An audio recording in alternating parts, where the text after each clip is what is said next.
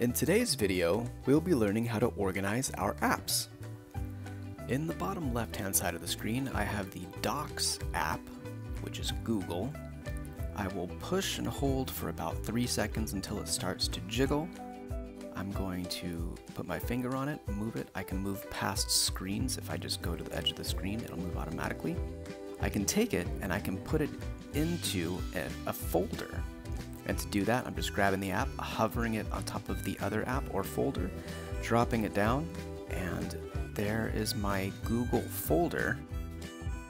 Up top, I can delete productivity, and I can type in Google. Now I know all my Google apps, or at least most of them, are there.